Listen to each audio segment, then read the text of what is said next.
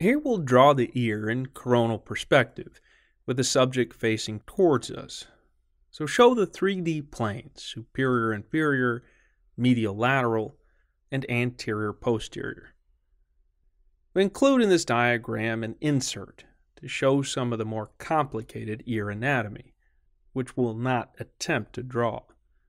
Draw the outer ear, then draw the external ear canal, which extends through the tympanic portion of the temporal bone just in front of the mastoid process. Next, draw the tympanic membrane. Now draw the middle ear canal, which also lies mostly within the tympanic portion of the temporal bone. Indicate that from lateral to medial it contains three ossicles the malleus, incus, and stapes, which are Latin for hammer, anvil, and stirrup, respectively. Indicate that the stapes abuts the oval window.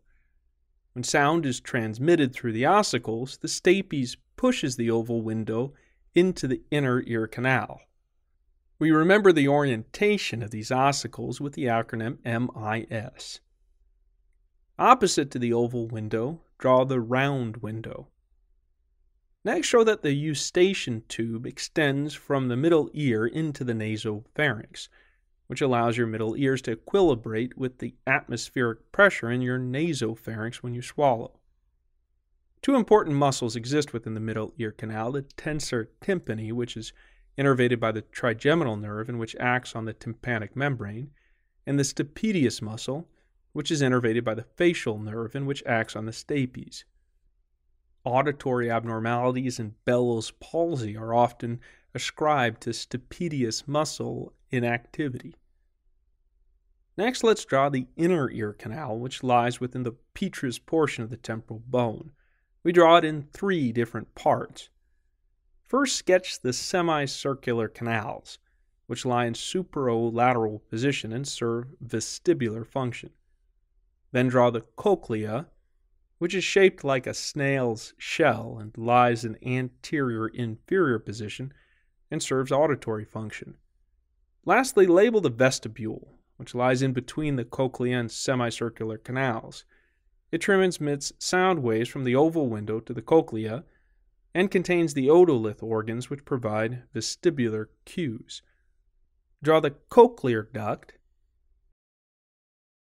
then label the vestibular duct, which is continuous with the vestibule, and next label the tympanic duct, which ends in the round window. Hence, the round window is also called the secondary tympanic membrane. Denote that Reissner's membrane separates the vestibular and cochlear ducts. Denote that the basilar membrane separates the cochlear and tympanic ducts. And denote that the vestibular and tympanic ducts are filled with perilymphatic fluid, which is high in sodium and low in potassium, much like extracellular fluid. Then denote that the cochlear duct is filled with endolymphatic fluid, which is high in potassium and low in sodium, much like intracellular fluid.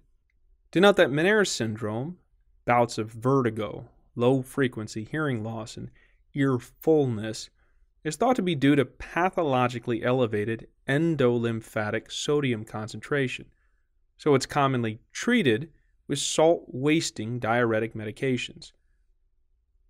Now let's address what occurs when a sound wave is detected. Indicate that when a sound wave enters the external ear canal, it vibrates the tympanic membrane.